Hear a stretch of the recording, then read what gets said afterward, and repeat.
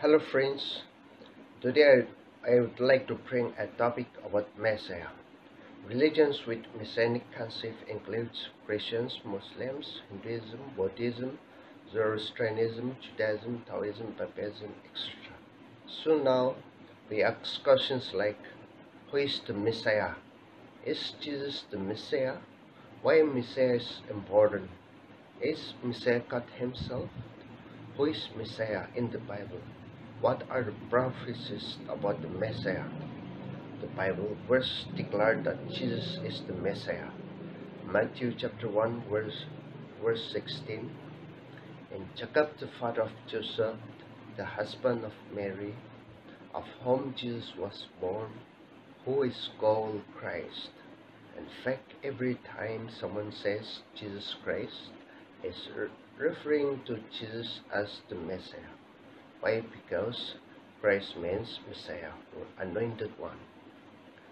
When we read John chapter 1 verse 29 to 41, we find an interesting story. Verses 29 and 30, the next day John the Baptist saw Jesus coming towards him and said, Love the Lamb of God, who takes away the sin of the world. The one I meant when I said, A man who comes after me has surpassed me, because he was before me. He who will baptize with the Holy Spirit. Verses 35 and 36 The next day John was there again with two of his disciples. When he saw Jesus passing by, he said, Look the Lamb of God. Verse 40 Andrew, Simon Peter's brother, was one of the two who heard what John had said and who had followed Jesus. Verse 41 The first thing Andrew did was to find his brother Simon and tell him we found the Messiah, which translates means Christ.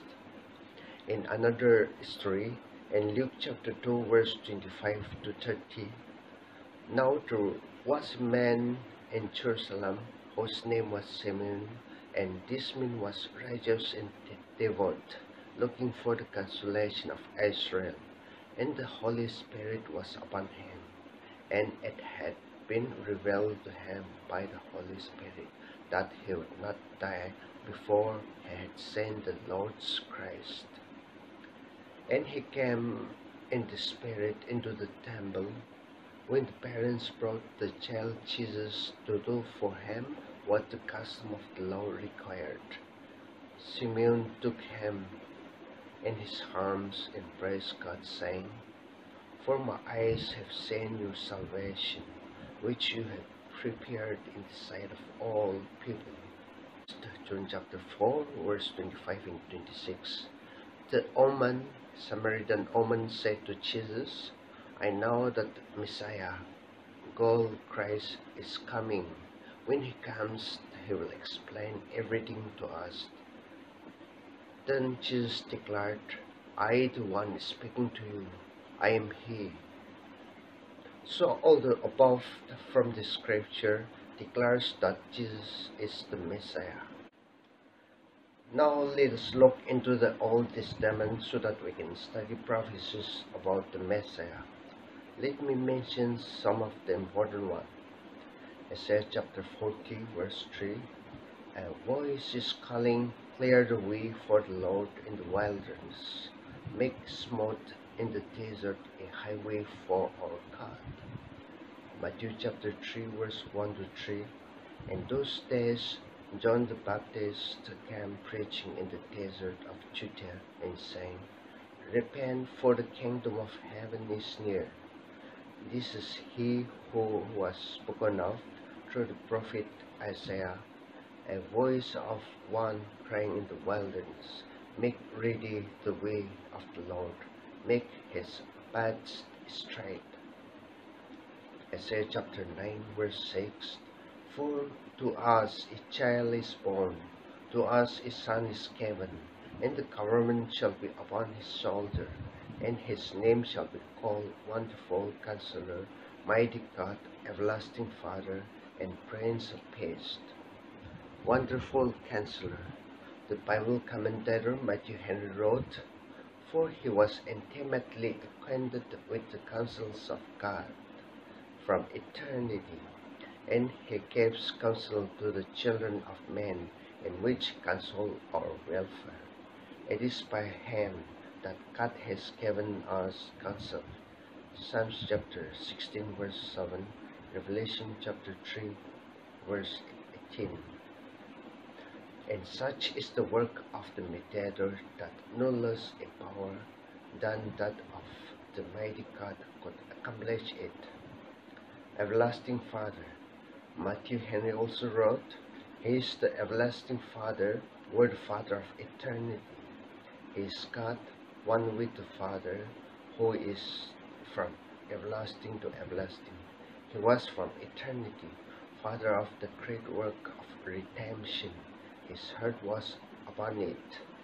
It was the product of his wisdom as the counselor, of his love as the everlasting Father.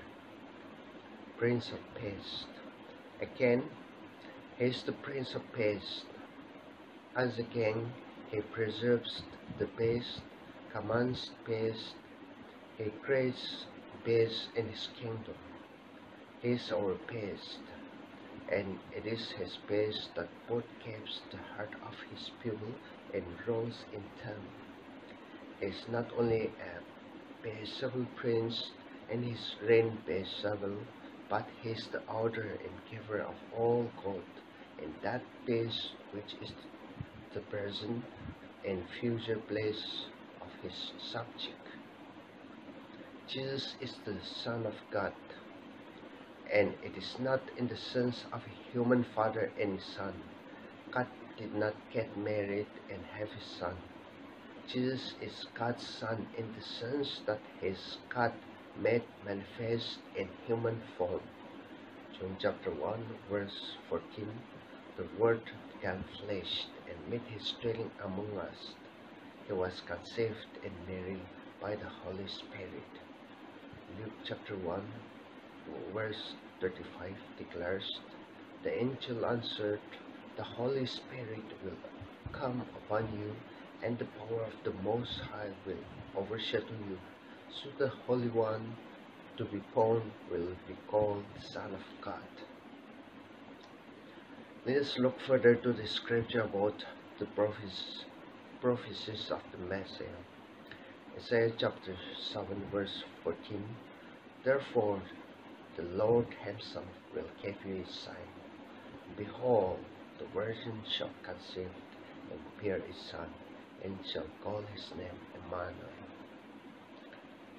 Isaiah chapter 53 He was despised and rejected by men, a man of sorrows and familiar with suffering. Surely he took up our infirmities and carried our sorrows.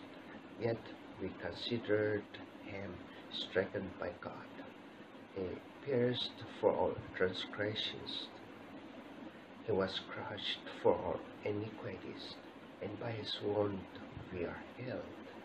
We all like sheep have gone astray. Each of us has turned to his own way, and the Lord has laid on him the iniquity of us all.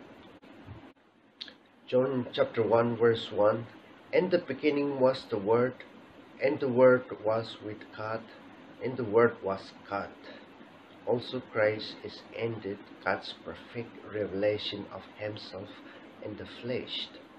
Jesus' own word to flesh, Jesus said unto him, Have I been so long with you, and yet you have not come to know me, Philip? He who has sent me has sent the Father. How do you say, Show us the Father? John chapter 14, verse 9. Let us look into the scripture why Messiah is so important for us. Number one, Messiah would bring a new covenant. Jeremiah chapter 31, verse 31 to 34. Behold, days are coming, declares the Lord, when I will make a new covenant. I will put my law within them, in heart I will write it, and I will be their God, and they shall be my people. Matthew chapter 26, verse 28 This is my blood of the covenant, which is poured out for many for the forgiveness of sin. 2 Corinthians chapter 3, verse 6 has made us competent as ministers of a new covenant, not of the letter, but of the Spirit. Also, Hebrew chapter 9, verse 15. For this reason, Christ is the mediator of new covenant, that those who are called may receive the promised eternal inheritance. Now that he has died as a ransom to set them free from their sins. Number two, Messiah or two retentive dates. Luke chapter 4, verse 18 and 19. The Spirit of the Lord is on me, because He has anointed me to preach good news to the poor. He has sent me to proclaim freedom for the prisoners and recovery of the sight for the blind, to release the oppressed, to proclaim the year of the Lord's favor. Number three, Messiah would bear our sins in suffering in our place. Matthew chapter 8, verse 16 and 17. When evening came, many who were demon possessed were brought to him, and he drove out the spirits with a word, and healed all the sick. This was to fulfill what was spoken through the prophet Isaiah. He took up our infirmities and carried our diseases. Matthew chapter 20, verse 28, and Mark chapter 10, verse 45. Just as the Son of Man did not come to be served, but to serve and to give his life as a ransom for many. Number four, Messiah would be a willing sacrifice. John chapter 3, verse 16. For God so loved the world that he gave his one and only Son, that whoever believes in him shall not perish, but have everlasting life. Philippians chapter 4, verse 7. And the peace of God, which transcends all understanding, will guard your hearts and your mind, minds in Christ Jesus. Number 5. The Messiah would be the great light. Isaiah chapter 9 verse 2 The people walking in darkness have seen a great light. On those living in the land of the shadow of death, a light has dawned. The same reference we we find in New Testament Matthew chapter 4 verse 16. Again, John chapter 1, verse 4 and 5. In him was life, and that life was the light of men. Light shines in the darkness, but the darkness has not overcome it. John chapter 8, verse 12. When Jesus spoke again to the people, he said, I am the light of the world. Whoever follows me will never walk in darkness, but will have the light of life. Number six, Messiah would perform signs of healing. Isaiah chapter 35, verse 5 and 6. Then will the eyes of the blind be opened, and the ears of the deaf unstopped. Then will the lamb leap like a deer, and the mute tongue shout for joy. Water will gush forth in the wilderness, and streams in the desert. Matthew chapter 11, verse 4 to 6. Jesus replied, Go back and report to John what you hear and see. The blind receive sight, the lame walk, those who have leprosy are cured, the deaf hear, the dead are raised, and the good news is preached to the poor. Blessed is the man who does not fall away on account of me. from the above, we have found that Jesus Christ is the Messiah. We need Him for forgiveness and assurance of our salvation.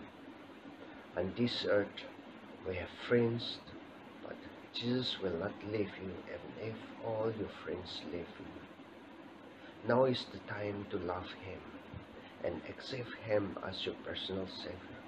May God bless you.